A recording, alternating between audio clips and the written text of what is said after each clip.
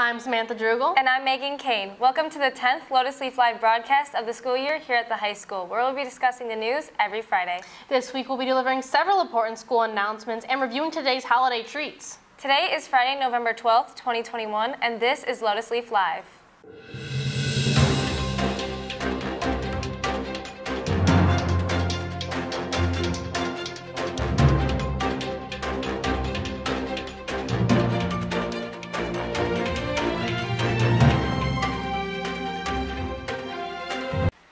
Attention students, the senior class is selling Chick-fil-A sandwiches for $5 during all lunches today.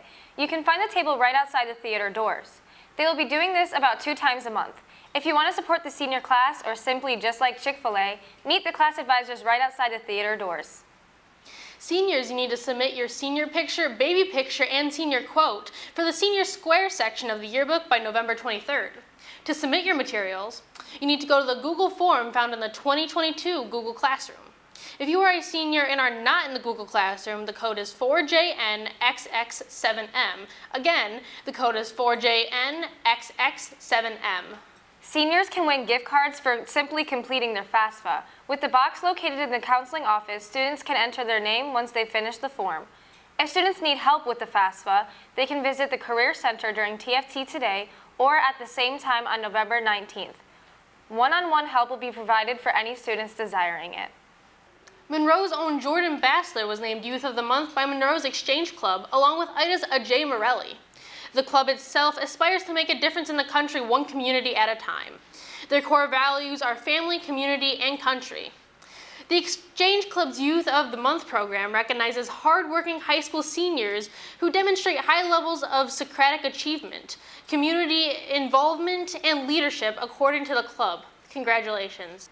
Drama Club's production of Alice in Wonderland is coming up on the 19th through the 21st. On the 19th and 20th, the production starts at 7 p.m., and on the 21st, the production starts at 2 p.m. You can purchase tickets at the door. Stay tuned for more information. On November 2nd, Monroe County had its election for mayor and council members. Here are the results. For mayor, Robert E. Clark. Clerk Treasurer, Michelle Lavoie. Councilperson Precinct 1, Paul L. Whitman. Councilperson Precinct 2, Deborah J. Steelgrave. Councilperson Precinct 3, Kelly M. Vining. Councilperson Precinct 4, Michelle Germini. Councilperson 3, Precinct 5, Brian Lamar. And Councilperson Precinct 6, Andrew B. Felder. Now on to national news. On Monday, the U.S. raised their travel ban, which had been in place for nearly two years.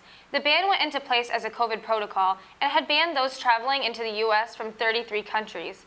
Now individuals from those places can travel into the U.S. if they are fully vaccinated. They also must be tested if entering by air. Among these countries are the United Kingdom, China, and most of the European Union. This brings some mixed opinions as Europe is currently dealing with a fresh surge of COVID-19 cases, worrying some. On November 5th, Travis Scott held a concert in Houston that resulted in the death of eight people and 25 hospitalizations. These casualties were due to a large surge in crowds, causing people to get trampled or suffocate. The crowds were full of 50,000 people, and Scott had been warned by the Houston police chief that the crowds may be dangerous. This comes with Scott's history of having an extremely rambunctious crowd. Also, there was a surge at the gate before the event. Regardless, Scott now faces more than a dozen lawsuits following the event. Here with more on the topic is our very own Drake Carr.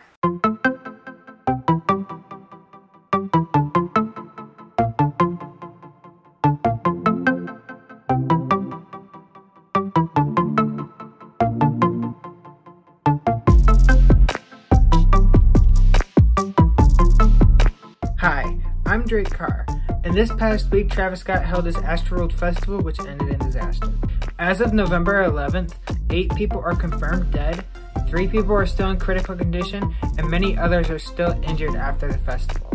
When Travis went on stage, everyone surged to the front, causing people to suffocate or be trampled. Emergency services had a hard time getting to these injured concert goers because how cramped the audience was and with people jumping on and shaking the emergency cars while the concert was going on. There was also multiple reports of people being injected with the drug Narcan throughout the concert. but there's only been one confirmed case so far. The second day of the festival was canceled, and both Travis Scott and Drake has put out an apology on the social media after the events that took place. Travis is now getting multiple different lawsuits from people that attended the concert because of how their life was put in danger. I hope everyone has a good weekend. This is Drake Carr signing out. We'll be visiting varsity home games and meets to catch footage of your favorite teams and bringing you the scores of all MHS sports as they come. Now, here's Tristan Mann for this week's sports update.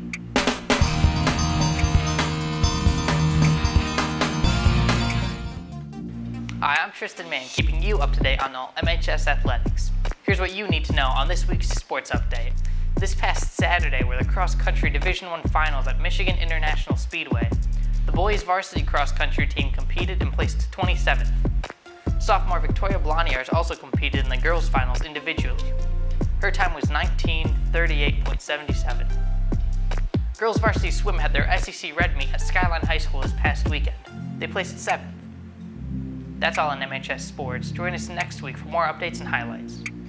Our school doctor's office is back with their segment Medical Meetup, where they will be bringing you awareness to a new health issue every month. Check it out.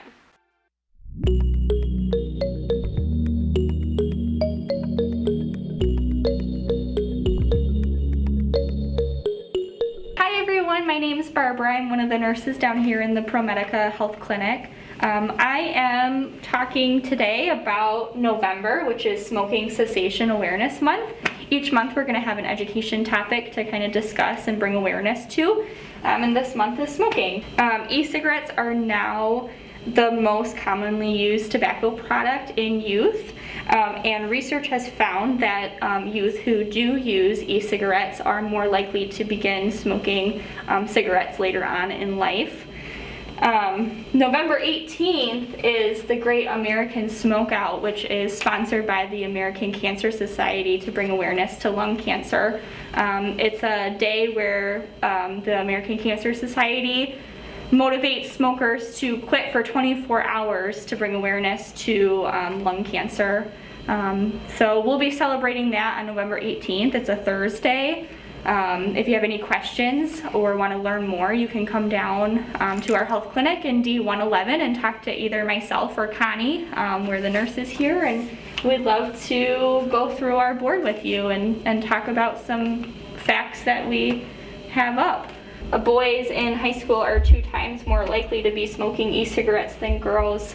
Um, and you can see here, this is 8th grade, 10th grade, 12th grade. Um, it significantly rises. Um, Yellow is e-cigarette usage and orange is cigarette usage. Um, so e-cigarettes are definitely more common um, to use now in high school than cigarettes. Um, uh, here's an interesting fact. Manufacturers don't have to report their ingredients in e-cigarettes. So a lot of times um, individuals don't really know what they're smoking in, in the e-cigarettes. And this graph kind of shows that 66% um, of people that smoke e-cigarettes just uh, believe that it's just flavoring, um, which is not true.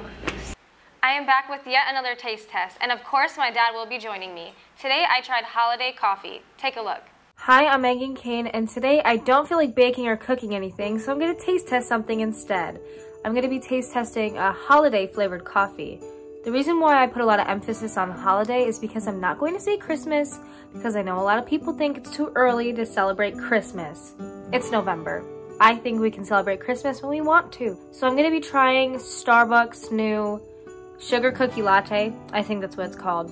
It's sugar cookie something. I've heard many mixed reviews on this, so I'm just going to go in and give my honest expert opinion.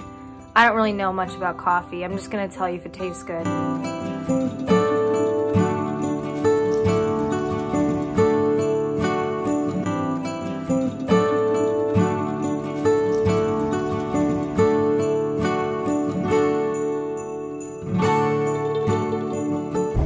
Okay, Dad, can you tell the people where we're going? Yes, we are going to Starbucks. Starbucks for Christmas coffee. It's holiday coffee. Holiday coffee. A holiday flavored drink. And do you know what the flavor is? Peppermint. no, it's sugar cookie. We're getting a sugar cookie drink. Mm -hmm. A sugar cookie drink. Sugar cookie drink. Yes.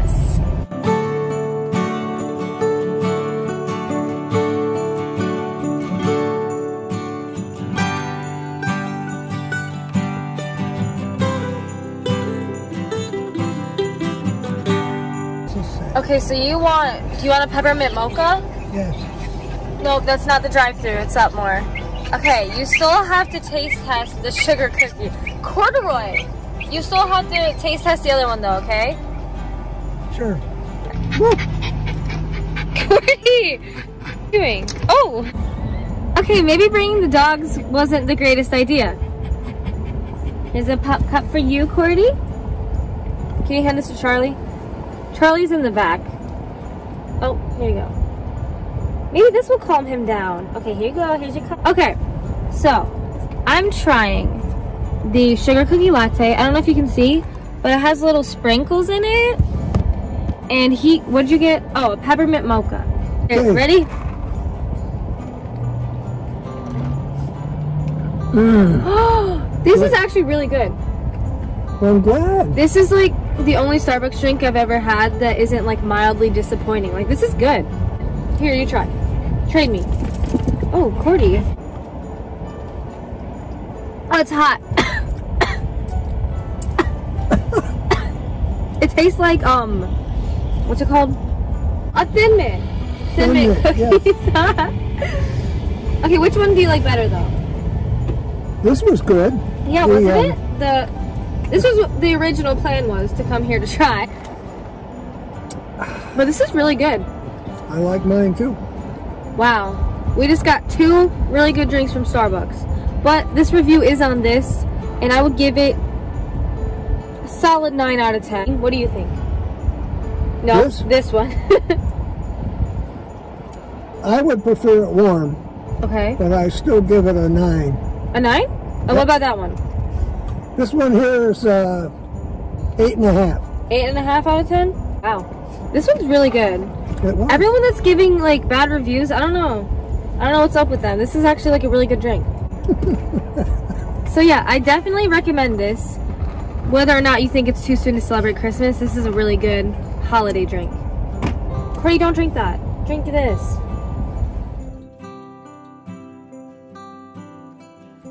Controversial. Do you think November is too early to start celebrating Christmas? Yes. What was that? Yes.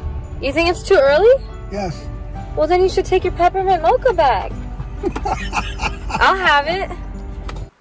Well, that's all we have for you today. Join us next week for our Thanksgiving special. We will continue to keep our social media and website updated during these fast changing times. Be sure to follow us on all of our social media at Lotus Leaf Live. You can read the full stories and more on our website, lotusleaflive.com. I'm Samantha Drugel. And I'm Megan Kane. We hope everyone is staying safe and we'll see you next time. Thanks for watching.